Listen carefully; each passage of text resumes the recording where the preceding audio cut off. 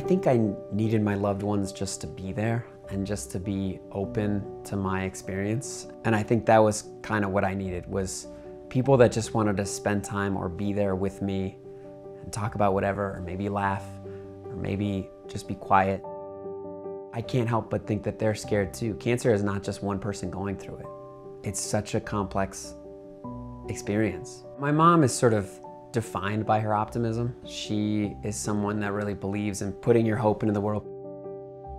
She's just like a relentless optimist and it's just incredible. I broke down quite a bit in the beginning because everything comes at you really fast and you have to get all these procedures done. Like you have to get your bone marrow biopsy, you have to get your pulmonary exam, you have to get a port installed in your chest, which is a surgical procedure. Meanwhile, you just feel constantly poked and prodded and jabbed and it's that's part of the dehumanizing aspect of cancer is like once you start to feel like a patient and not a person, then you're just like, you know, it feels like you're just this like lab experiment that's going through all these things.